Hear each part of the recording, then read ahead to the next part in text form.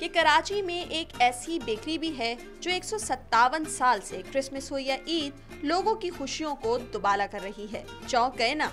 जी हाँ सदर में अठारह से कायम ये कदीम मिसकाती बेकरी अपनी रिवायात को बरकरार रखते हुए आज भी मसीही भाइयों के मुँह में मिठास खोल रही है। बेकरी के मालिक हैदर अब्बास का कहना है कि इस कदीम बेकरी ने जहाँ जायकों की रिवायत बरकरार रखी, वहीं एक दिलचस्प पहलू ये भी है कि तकसीम के बाद से यहाँ ये तीसरी पीढ़ी है जो काम कर रही है। टेस्ट की वजह यह है कि इसकी जितनी भी रेसिपीज़ हैं, वो रेसिपीज़ हमारी अपनी हैं। जैसे ईस्टर है ईस्टर के हमारे हॉट क्रस्ट बंस होते हैं।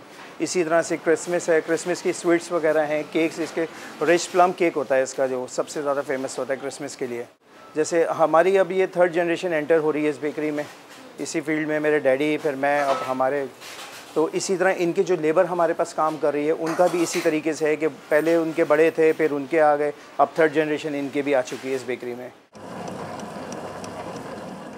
केक का आमेजा सांचों में डालना हो या फिर उसे बेक करने से लेकर उसकी मुँह में भर देने वाली ड्रेसिंग माहिर हाथों से गुजरकर बेकरी की शान बढ़ा देती है। ये केक किसी को अपनी माँ के हाथ का जायका याद दिलाते हैं तो किसी का बचपन उसे यहाँ खींच लाता है। जब मैं बहुत छोटी सी बच्ची थी, उस वक्त से हम यहाँ से ले रहे आ रहे हैं, जो हम जिस तरह घर पे रिवायत के तौर पे बनाते हैं वो इंग्रेडिएंट्स ये यूज़ करती हैं और अब ऐसा लगता है जैसे घर की चीज़ है। क्योंकि मेरी माँ की याद आती है।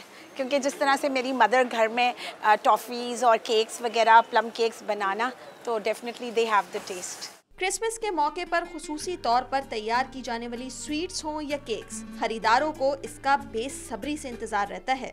क्रिसमस नाम है खुशी के एहसास का, बांटने में मिठास का, अपने प्यारों को तहाइफ में देने के लिए कराची की इस बेकरी में तैयार किए जाने वाले केक्स और टॉफ़ीज़ का मज़ा आज भी वैसा ही है, जैसे नानी दादी के हाथ के बने हुए मिठाइयों में होता था।